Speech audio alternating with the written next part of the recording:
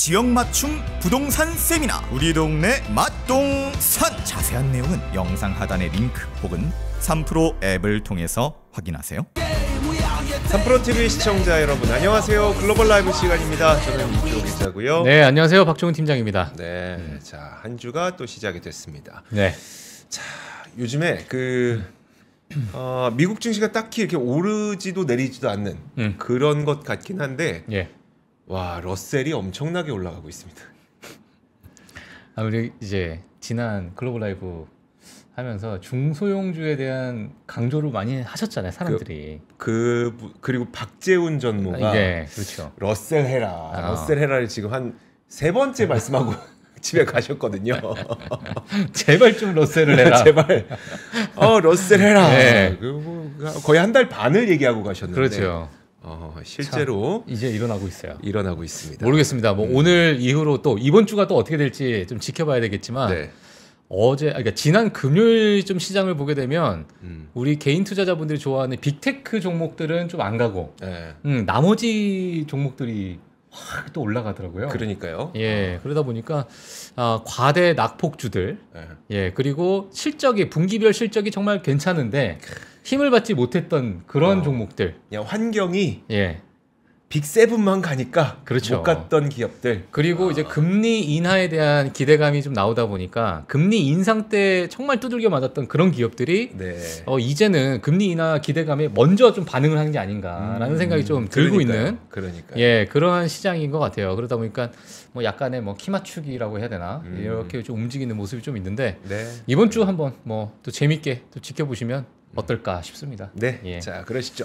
자, 네. 오늘 준비된 내용도 하나씩 시작해 보도록 하겠습니다. 네, 자 오늘 뉴스 같이 한번 보도록 하겠습니다. 예. 한번 아 이게 연결이 안 됐어요. 아, 아, 제- 연결이 안 죄송합니다. 예. 어, 저의 불찰입니다. 연결 어. 연결됐을지 모르겠네요. 아, 연결됐을 것 같습니다. 자, 하나씩 보시죠. 자, 시장을 한번 보도록 하겠습니다. 오늘 글로벌 라이브 아마 여러 가지 뉴스가 좀 나왔습니다. 어떤 뉴스들이 있는지 같이 보도록 하겠습니다. 자, 오늘의 글로벌 시장 체크 포인트입니다. 미국 증시 3대 지수 일제히 상승을 했습니다.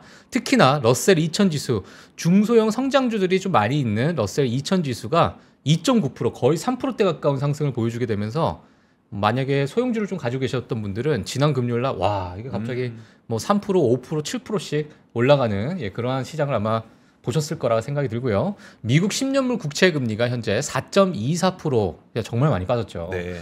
어, 이제 금리 인하에 대한 기대감이 지금 시장 금리에 바로 나타나고 있는 게 아닌가 이렇게 보여지고 있고요. 그리고 OPEC 플러스 회의에 따라서 유가 WTI 기준으로 73불 또 다시 하락을 하고 있습니다. 물론 브렌트유 같은 경우에는 내년에 85불까지 올라갈 가능성이 크다라는 뉴스가 좀 나오고 있는데 이런 부분도 한번 같이 지켜보시면 될 것 같고요. 유가가 또 상승하면 인플레이션도 건들 수 있기 때문에 아, 이런 부분도 한번 같이 지켜보시면 좋을 것 같습니다. 자, 이스라엘이 이제 가자지구 공세를 확대한다, 확대했다. 네. 음, 그렇게 되면서 또 남쪽 지역에 대한 폭격을 시작했다라는 뉴스가 다시 좀 나오게 되면서 좀 시장에 대해서 또 시장이 좀 경각심을 좀 가지고 있는 상황이고요. 어, 또 종목 단으로 좀 가게 되면 스포티파이가 직원 17% 감원 발표를 발, 어, 감원에 대한 발표를 했습니다. 약 한 1,500명 정도가 감원을 하겠다라고 어, 이렇게 되어 있는데 사실 뭐 대표적인 스트리밍 오디오 기업이죠.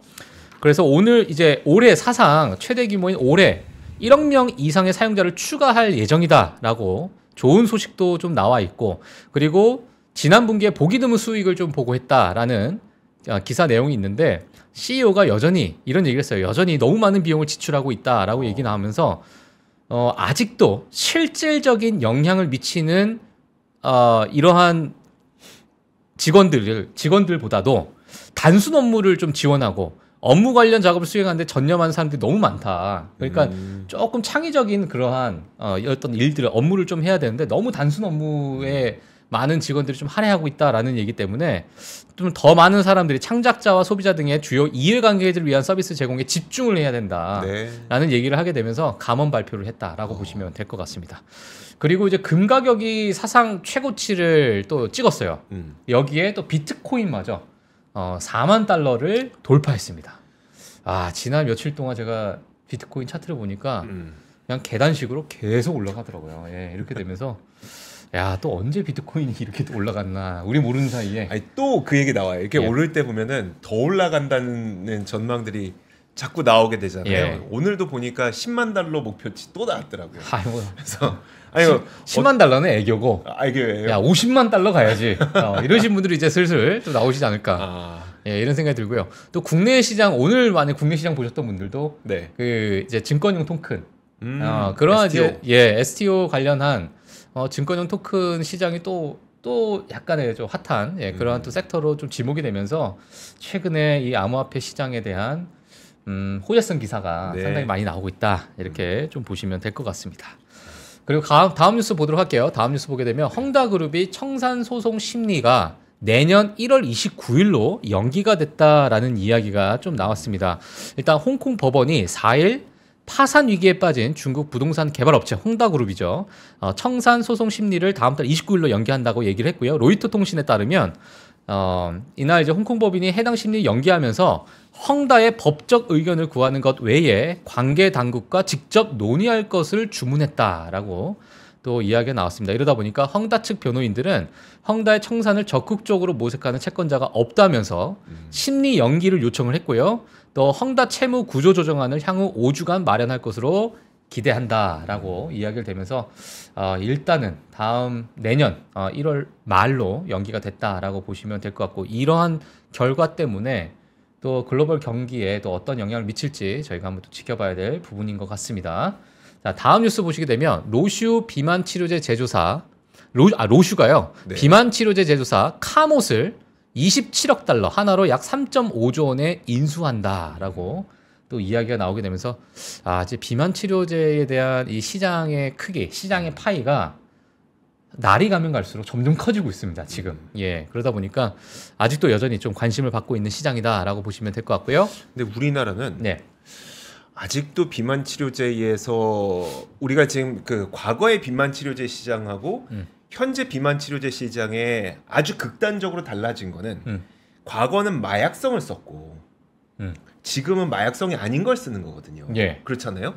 음. 근데 제가 그 우리나라에서 그 위고비가 되는지 보니까 아직도 안 되더라고요. 음, 그러니까 그러다 보니까 얼마 전에 기사를 봤는데도 여전히 이제 비만 치료제에 그 마약성 치료제들, 그러니까 향정신성 예. 의약품이 많이 사용이 되더라고요. 그래서 참 모르겠어요. 그러니까 이게 뭐 그 기업 실적이 어떻고 이런 얘기보다는 음. 우리나라에서도 빨리 이제 마약성, 그러니까 향정신성 의약품이 좀 자리를 빼앗기려면 예. 어, 빨리 위고비나 싹센다, 싹센다는 돼요. 싹센다는 되는데 음. 위고비 안 되고 음. 뭐 마운자로 이제 그 젯바운드 있잖아요. 음. 젯바운드도 빨리 들어오고 해야 되지 않을까.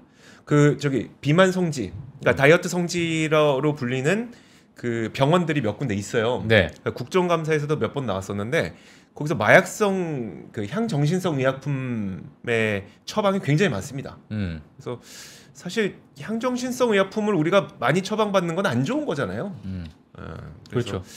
그래서 좀 모르겠어요. 그 이게 기업 실적도 실적이지만 빨리 그 이 치료제들이 좀 들어오는 게 낫지 않을까라는 생각이 들어요. 음. 향정신성 의약품을 좀 덜 사용하려면. 음. 예. 뭐 언제 들어올지 참 그러니까 삭센다는 예. 매일 맞아야 되는데 그거 아. 아직 안 된단 말이에요. 그러니까요. 좀 힘들단 말이죠. 예. 일주일에 한 번 하는 걸로 아, 바뀌어야 될 텐데. 알겠습니다. 자, 그 다음에 어, 뉴스를 또 보게 되면 네. 알래스카 항공이 하와이안 항공을 인, 인수하기 위해서 19억 달러 규모의 계약을 체결했다라는 이야기까지 좀 나오게 되면서 뭐 최근에 여러 인수전이 참 상당히 많이 나오고 있는 상황입니다. 네. 지금 뭐 로슈도 마찬가지고 알래스카 항공도 마찬가지고 조금 기다렸던 예, 음. 그러한 자금들이 좀 움직이고 있는 것이 아닌가라는 생각이 들면서 시장에선 그래도 많은 이제 변동성을 좀 줄 수 있고 또 긍정적인 효과가 날 수 있으니까 인수자 같은 경우에는 너무 많은 비용을 지불하게 되면 또 악재로 볼 수 있겠지만 네. 피인수자 같은 경우에는 아, 또 이게 하나의 또 트리거가 될 수 있는 또 주가에 좋은 영향을 줄 수 있기 때문에 아, 같이 좀 체크해 주셔도 좋을 것 같습니다. 자, 그래서 오늘 이제 글로벌 시장 체크 포인트는 이렇게 마무리하도록 하겠고요. 네. 다음 뉴스로 바로 넘어가도록 할게요. 다음 뉴스 보게 되면 음, 자 이겁니다. 테일러 스위프트에 이은 비욘세 효과.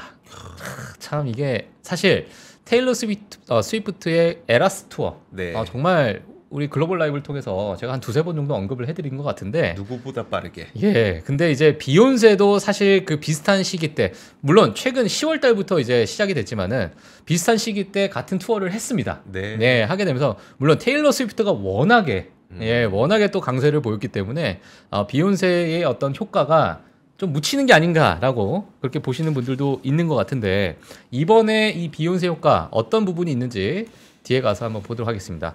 자, 뒤에 가서 보기 전에 아직도 테일러 스위프트는 현재 현재 진행형이에요. 음, 그래서 오른쪽 표를 보시게 되면 지금 2024년 지금 왼쪽에 있는 그 연두 색깔로 돼 있는 부분이 2023년이고요. 이제 네. 지금은 끝났어요. 예, 이게 11월 달까지 있었던 투어였고 음. 12월은 좀 쉬셔야죠. 아, 좀 남자친구랑 크리스마스 아유 크리스마스 보내야죠. 보내야죠. 안 그래도 오늘 남자친구 예. 첫 경기에서 졌 그러니까 어그 테일러 스위프트가 관람한 첫 경기에서 졌다는 뉴스가 아 그래요? 헤드라인을 뒤덮고 있습니다. 아 그래서 1월까지 쉬나? 쉬어야지. 예. 어. 그래서 1월에도 없습니다. 1월에도 없는데 네. 자 이제 내년 2월부터 또 8월까지 이런 일정들이 쭉 있, 있는 그러한 상황이기 때문에 3분의 1도 안 됐군요. 예, 그러다 보니까 이제 아, 이게 또 어느 효과, 어느 정도의 경제 효과를 또 누릴지 물론 여러 이제 아시아 국가를 통해서 뭐 그 외 남미 국가 또는 영국까지 이제 진출하게 되고 네. 어, 여러 나라를 왔다 갔다 할 텐데 그 이제 각국의 나라에서 이제 이 투어를 진행하면서 또 어떤 경제 효과를 또 일으킬지도 시장의 관심사일 것 같아요. 예, 지금까지는 미국의 여러 투어를 하면서 너무나도 이제 마케팅은 됐어. 네. 홍보 효과도 어마어마합니다 지금. 음. 예, 그렇기 때문에 아, 내년에 또 어떠한 어떤 새로운 패러다임을 또 보일지 저희가 관심을 가지면서 한번 볼 것 같은데 일단 오늘은 비욘세에 대해서 잠시 좀 말씀을 드리도록 하겠습니다. 현재 미국 내 박스 오피스 1위 르네상스라고 제가 이제 어, 제목을 지었는데 비욘세의 투어를 어떤 영화화 시켜서 필름화 시켜서 지금 박스 오피스 주말에만 약 2,100만 달러, 2,200만 달러, 2,100만 달러 추산적인 그런 수익률이 있는데 약 한 300억 정도 주말에만 300억을 수익을 올렸다라고 네. 보시면 될 것 같고요. 어, 이 투어를 본, 그러니까 이 르네상스를 본 어, 관람객만 한 90만 명 정도 추산된다. 자 이렇게 보고 있습니다. 자 이 수치가요. 2003년에 톰 크루즈 주연의 라스트 사무라이 이후에 2천만 달러 이상 수익은 처음이라고 합니다. 아, 아바타가 나오고 뭐 뭐가 나오고 많이 나왔는데도 불구하고 그런 적이 없었어요. 그런 적이 없었어요. 그러니까 이 톰 크루즈 주연의 라스트 사무라이 이후로 처음이에요. 이게 지금. 야. 그러니까 이제 시장에서 관심을 받을 수밖에 없는 어, 그런 상황으로 보여지고 있습니다. 자 그러다 보니까 자 이번에 비욘세 팬들이 어떠한 몇 분이 정, 정도가 뭐 오셨고 도대체 어느 정도 경제 효과를 누렸는지 이런 부분을 여러 가지 데이터로 좀 나와 있는데 사실 데이터가 많이 있지 않아서 제가 어, 신문 기사로 일단 몇 개 몇 가지 좀 말씀을 드릴게요. 일단 전체적으로 어, 비욘세 아홉 번째 콘서트 투어 이 아홉 번째 콘서트 투어가 5억 7,900만 달러를 벌어들였다. 아 그리고 역사상 여성 아티스트 투어 중에 가장 높은 수익을 올린 투어이다. 네. 이렇게 얘기가 나왔습니다. 어 근데 스, 어, 테일러 스위프트가 역사상 1위 아니냐? 네. 테일러 스위, 스위프트의 투어가 안 끝났습니다. 아. 안 끝났어, 안 끝났어. 아 그래서 집계가 예, 거예요? 집계가 이제 마지막으로 안 됐는데 어. 어, 이게 집계가 되면 또 완전히 또 다른 그런 어, 결과물이 나오겠죠. 예, 근데 이제 물론 테일러 스위프트가 앞으로 향후 나오는 투어를 하게 되면 물론 비욘세를 압도적으로 좀 아- 앞서겠지만 지금까지 예, 투어가 끝난 기준으로 보게 되면은 역사상 여성 아티스트 중에서 가장 높은 수익을 올린 비욘세다라고 보시면 될 것 같고요. 전체 투어에서는 일곱 번째로 높은 수익을 올렸다고 합니다. 뭐 저스틴 비버도 있고 예전 이제 마이클 잭슨 투어도 네. 있고 뭐 여러 가지가 있는데 어, 그 중에서는 이제 일곱 번째로 높다 이렇게 보시면 될 것 같고요. 어, 지금 사실 이번 투어가 이제 수- 어, 50 아, 이제 56번째 그러니까 네. 56번째의 투어를 했는데 음. 어, 이제 6위 이게 7위잖아요 지금. 근데 네. 6위에 가장 높은 수익을 올린 투어가 건스 앤 로즈라고 음. 건스 앤 로지스라고 이제 그 메- 헤비 메탈 하시는 그 밴- 밴드예요 밴드. 네. 예, 미국 밴드인데 3년 동안 158개 쇼를 진행했어요 투어를. 네. 근데 158개를 투어를 진행했던 건스 앤 로지스랑 지금 요번에 56 어, 56번째 이제 투어를 했던 56개 투어를 한 거죠. 음. 했던 이제 비욘세와 비교했을 때 비욘세가 좀 압도했다. 그러면 거의 비욘세는 건스 앤 로지스보다 3배 세배 이상. 그렇죠, 그렇죠. 예. 돈을 번 거네요. 네, 그렇죠. 하여튼 그러한 이제 어마어마한 수익률을 좀 올렸다라고 볼 수 있을 것 같고요. 그리고 비욘세 쇼당 그 평균 총액, 음, 한 사람당 네. 어, 1,030만 달러. 아, 그러니까 쇼당 쇼당 1,030만 달러 올렸다고 해요. 네. 음. 예, 그래서 어, 이러한 부분도 지금 역대 최고 수익을 올린 그 중에 하나가 될 거다 이런 얘기가 좀 나오고 있는 상황인데 어, 이번에 이제 뉴욕 타임스에서 이런 얘기가 나왔어요. 비욘세가 45억 달러를 창출했다고 추정했습니다. 전반적인 그 산업 환- 환경을 봤을 때 네. 어, 이, 이때는 뭐 숙박업도 있을 것이고 여러 굿즈 사업도 있을 것이고 자 이러다 보니까 이 수치가 어느 정도냐면 2008년 베이징 올림픽 성과가 비슷하대요. 아 그래요? 그러니까 비욘세가 혼자 투어한 게 2008년에 베이징 올림픽과 비슷하대요. 그러니까 이게 아, 와 진짜 어마어마한 수치다. 한 사람이 물론 혼자서 한 건 아니겠죠. 아, 그렇죠. 네. 제작진이 아, 있을 그래도 것이고 어 뭐 기획을 하는 그런 여러 이제 기업들이 있을 텐데 아니 뭐 베이징 올림픽이라고 뭐 중국에서 누구 혼자 했겠습니까? 그러니까요. 그것도 수많은 예, 사람들이 예. 함께 한 건데. 어, 그러니까 한. 한 아티스트가 와. 올림픽 수준의 그런 이제 수익 창출을 했다 이렇게 보시면 될 것 같아요. 자, 그래서 화면 한번 보도록 하겠습니다. 이건 뭐예요? 자, 이게 뭐냐면 음, 비욘세 팬의 72%는 여성입니다. 음, 여성인데 네. 그리고 비욘세 팬이 좀 더 나이가 있다라는 그러한 분석을 내놨어요. 왜냐면 팬이- 그 티켓만 봤을 때는 네. 이 사람이 나이가 얼마인지 정말 일일이 물어봐야 나이가 어떻게 되세요? 25살 이하입니까? 이상입니까? 아니 카드 결제 내용만 싹 받으면 근데 이제 엄마 카드로 할 수 있으니까. 예. 그렇기 때문에 이런 부분을 이제 교통량을 분석을 한 거야. 네. 그러니까 재미로 갖고 나온 겁니다. 네. 자, 테일러 스위프트 같은 경우에는 어, 1시 이전에 1시 이전에 보게 되면 비욘세의 그 교통량을 봤을 때 12%, 네. 테일러 스위프트는 19%. 어. 자, 1시에서 5시 사이는 33%, 33% 비슷하죠. 네. 자, 근데 5시에서 8시 사이가 되면 이제 34, 36 이것도 뭐 비슷한데 네. 마지막 8시 이후로 되면 젊은 친구들 집에 가야 되니까. 아. 그래서 교통량이 확 줄어들 있고 아. 8시 이후가 된 교통량이 21%다 그래서 비욘세 팬이 72%가 여성인데 전반적으로 좀 나이가 많은 아. 사회 활동을 하는 그러니까 퇴근하고 오는 그런 교통량이 좀 많다. 아. 뭐 이렇게 이제 또 분석을 하더라고요. 그래서 야 이게 진짜 맞나라고 생각해서 제가 뭐 하여튼 가지고 나왔고 이건 이제 뉴스 기사에 제가 기반해서 좀 가지고 나왔기 때문에 네. 그냥 재미로 한번 보시면 될 것 같습니다. 자 그래서 그래서 자 무엇에 영향을 받고 르네상스를 보았나라는 설문조사를 했어요. 자 32%는 친구 가족을 통해서 내가 이걸 보게 됐다. 그리고 22%는 온라인 예고편을 보고 내가 이거를 아, 봐야겠다 해서 왔다. 네. 그리고 46%는 소셜 미디어에서 내가 보고 나서 아, 이 르네상스를 봐야겠다라고 이 답변을 했습니다. 자, 오른쪽에 표를 보시게 되면 어, 내가 이걸 보고 나서 다시 올 의향이 있냐, 르네상스 투어를 또 볼 의향이 있냐 네. 했을 때 91%가 나는 다시 볼 의향이 있다. 이야. 이렇게 얘기를 했고요. 자, 그리고 어, 80%가 이 요번에 콘서트 어땠냐? 이거 정말 만족하니? 이 경험에 대해서 그래서 80%가 너무너무 만족한다. 음. 아, 이 돈을 내가 쓸 가치가 있다 라고 이야기를 또 했고 그리고 콘서트에 오신 분들이 평균 1인당 평균 썼던 비용이 1,870불이라고 합니다. 거의 200만 원이 넘는 네. 어, 돈을 1인당 썼는데 이 비용 자체만 봤을 때는 테일러 스위프트가 1,500불 정도 선이었어요. 네. 그러니까 비욘세의 팬들이 나이가 좀 많은 이유인가? 라고 해서 300불 정도 더 쓴 거야, 한마디로. 네, 네. 예, 그래서 이러한 부분이 어, 또 설문조사로 또 나왔던 결과물이고요. 그리고 이러한 투어가 4.5 billion 달러 경제에 약 한 5조 원 넘는 그러한 경제 효과를 일으켰다라는 아, 이러한 추산이 좀 나오고 있는 상황이고요. 아, 그리고 어, 앞서서 얘기 말씀드렸던 것처럼 이제 스위프트 테일러 스위프트보다 한 300달러 정도는 더 썼다.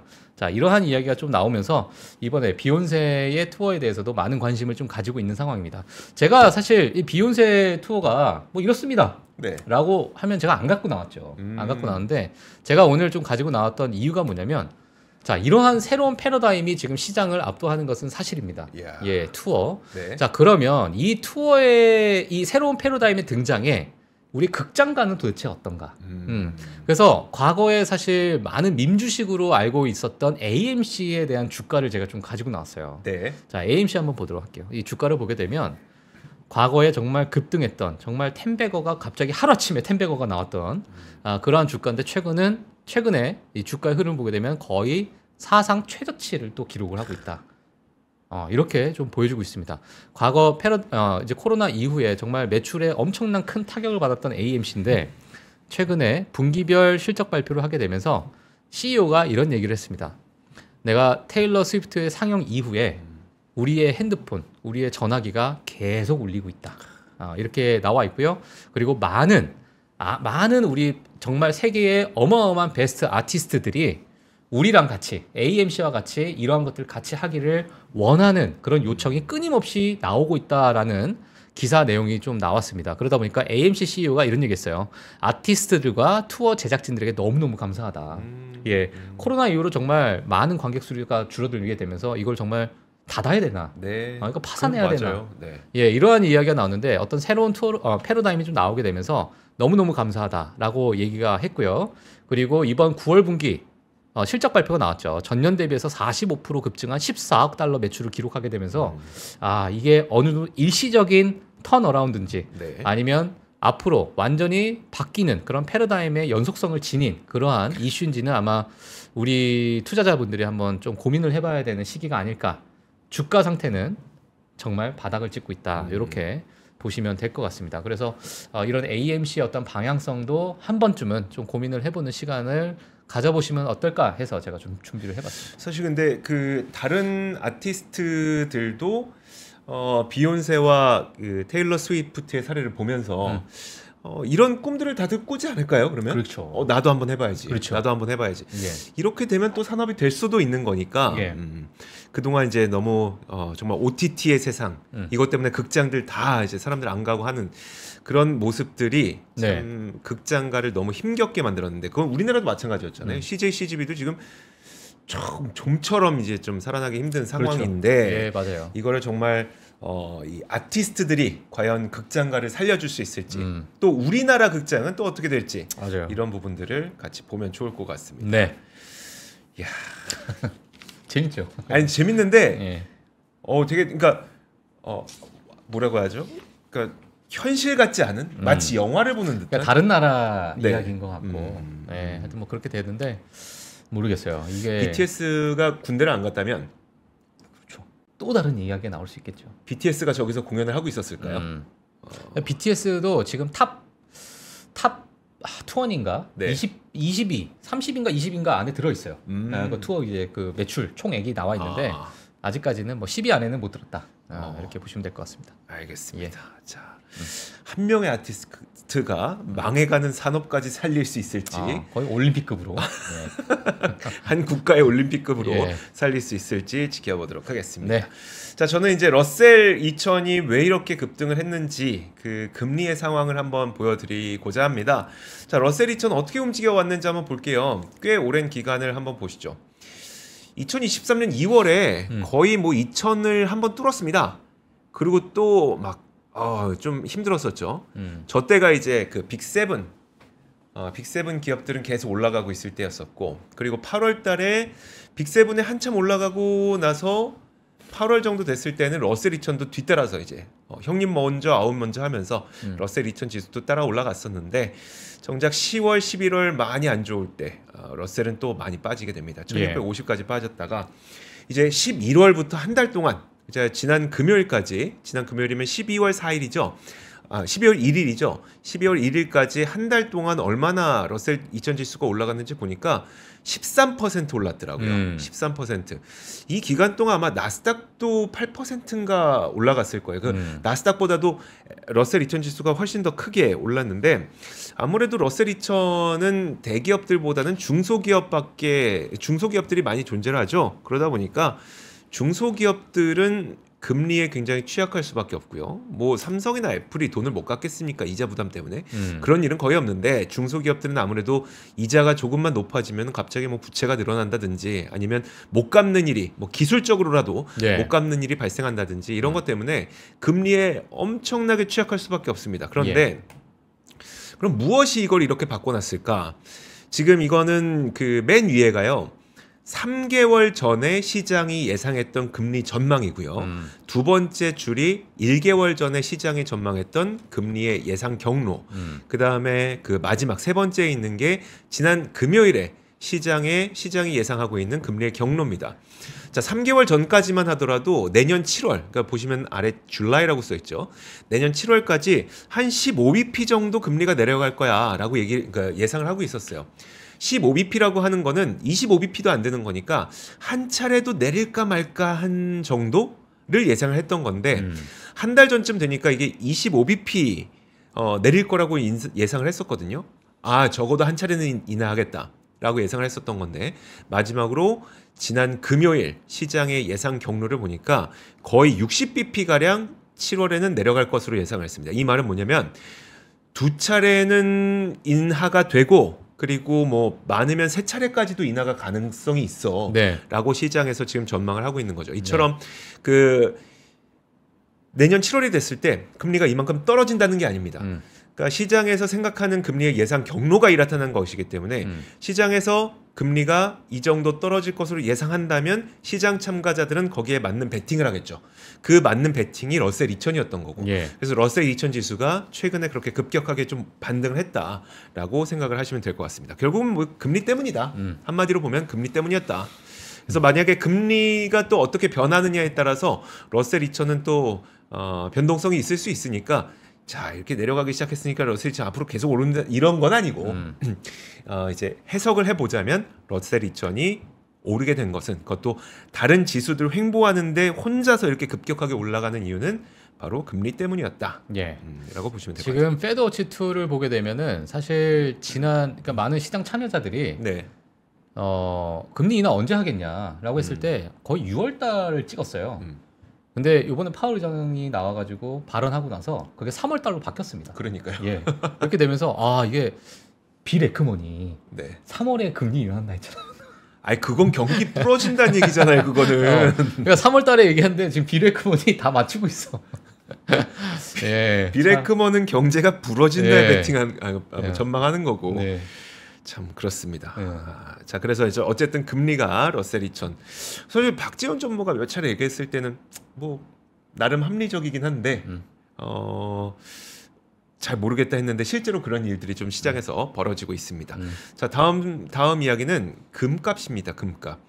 자 여러분들 금값 한번 보시죠. 지금 사상 최고치를 뚫고 올라가고 있습니다. 지금까지 제가 몇 차례 봤었는데 2,100을 시원하게 뚫고 올라간 일이 거의 없었어요. 음. 그리고 이번에도 사실 어, 지금 장중 한때 2,150달러까지 올라갔다가 지금은 한 2,088 정도까지 다시 상승 탄력을 약간 줄이긴 했었거든요. 근데 이제 계속 좀 뚫고 뚫고 올라가려는 그런 움직임을 보이고 있는 거죠. 자, 금값이 요즘은 금값입니다. 진짜 말 그대로 금값인데 사상 최고치를 기록하고 있고요. 이게 그 이유로 꼽히고 있는 거는 일단 첫 번째가 달러 약세죠. 달러 약세가 되면 무슨 일이 발생을 하게 되냐면 지금 그 많은 전 세계에 있는 중앙은행들이 달러로 자신들의 자산, 그러니까 외환 보유고를 보유하고 있잖아요. 근데 달러 약세가 되면 본인들의 외환 보유고가 갑자기 줄어들게 됩니다. 음. 그러다 보니까 어우 그러면 우리가 그 외환 보유고를 안정적으로 채울 수 있는 또 다른 자산이 필요하네라고 하면서 실물 자산인 금을 좀 채우고 있는 게 첫 번째 이유고요. 두 번째 이유는 또 금리 하락이기도 합니다. 아, 금리 하락. 이 금리 하락은 뭐 제가 몇 번 말씀드렸던 것처럼 금이라고 하는 것은 이자가 없기 때문에 원래 금리가 올라갈 때는 금에 대한 매- 그 매력이 떨어지는데 금리가 떨어질 것으로 기대가 되면 그때 다시 또 금리 금에 대한 그 매- 그러니까 금에 대한 수요가 올라가는 그런 측면이 있거든요. 이것도 두 번째 이유고 세 번째는 아 이겁니다. 경제 제재. 경제 제재에 대한 우려인데요. 그러니까 러시아가 우크라이나 전쟁 때 이제 경 그 자산이 동결됐잖아요. 음. 근데 그러면 자산이 동결되면 국제 결제망에서 이 그 결제를 불가하게 됩니다. 음. 근데 만약에 사실 외환 보유고에는 달러도 들고 있겠지만 금도 들고 있고 그리고 금이 아니더라도 금에 준하는 상품으로 들고 있을 수도 있거든요. 근데 만약에 금에 준하는 상품으로 만약에 들고 있게 되면 이게 금융 제재가 들어가게 됐을 때 못 찾습니다, 이걸. 음. 근데 사실 실물 금은 이거 그 뭐 뭔가 제재할 수가 없어요. 제재하기 되게 어려워요. 그래서 이 지금 전쟁이 또 두 개의 전선에서 일어나고 있지 않습니까? 우크라이나, 러시아, 그 다음에 이제 이스라엘, 아, 아, 하마스. 그러다 보니까 세계에 있는 많은 그 뭔가 음, 중앙은행들에서 뭔가 경제 제재가 만약에 발생했을 때에 대비해서 금에 대한 수요가 좀 늘어나고 있는 그런 축- 그 측면도 있고요. 그러다 보니까 실제로 그 세계 중앙은행들이 금의 보유를 계속 늘리려고 하고 있어요. 화면 한번 껴보시죠. 지금 이게 보이시는 게 뭐냐면은 지난 5월에 세계 금 협의회라고 하는 기관이 있습니다. 여기에서 설문 조사를 했는데요. 세계 중앙은행들을 대상으로 설문 조사를 했는데 전 세계 10개의 주- 중앙은행 중 7곳 이거는 뭐 10분의 7이라는 걸 이제 비유적으로 말한 거예요. 실제로는 아래 보이시죠? 어, 전체 의- 중앙은행 57개. 그다음에 선진은행 13개. 그다음에 개발도상국, 신흥국 44개. 전체 57개. 57개 국가를 대상으로 조사를 했는데 10개 가운데 7개 국가가 향후 12개월 동안 금에 대한 보유량을 늘릴 것으로 전망한다라고 얘기를 했습니다. 이런 것들이 다 그런 같은 맥락인 거죠. 그러니까 약세가 올 것 같아, 금리가 하락할 것 같아, 경제 제재 우려 있을 것 같아. 그것 때문에 그러면 중앙은행들은 아 금을 늘려야겠구나 라는 판단을 내린 거고 실제로 10개 중앙은행 가운데 7개 중앙은행이 향후 12개월 동안 우리는 금 보유를 늘릴 것입니다 라고 얘기를 하고 있는 거고요. 어, 그러다 보니까 그리고 이제 금이라고 하는 것은 생산은 한- 한정돼 있잖아요. 그러다 보니까 중앙은행 같은 어떤 금에 대한 주포들이 수요를 늘리게 될 때에는 금 가격이 또 빠르게 올라갈 수 있는 거거든요. 이런 것들이 지금 금 가격을 좀 빠르게 높이고 있습니다. 네, 알겠습니다. 자, 그러면 여기까지만 하죠. 네. 네, 여기까지만 하고 아, 자, 저희가 또 2부 기다리고 있지 않겠습니까? 음. 자, 2부에서 너 저희 또 되게 신박한 캐릭터의 바로 그분 음. 기다리고 계십니다. 잠시 후 2부에서 뵙겠습니다. 장 시작 전부터 종료까지 쏟아지는 수많은 뉴스와 정보들. 이 중에서 어떤 것이 투자에 정말 도움이 되는 정보일까요? 3프로의 증시 셔터맨 박근영 마스터가 직접 정보를 선별하고 투자의 힌트를 드립니다. 시간도 아끼고 투자 아이디어도 얻는 시간. 박근영 부장의 마켓 힌트와 함께 하세요. 자세한 사항은 3프로 TV 앱과 홈페이지를 확인하세요.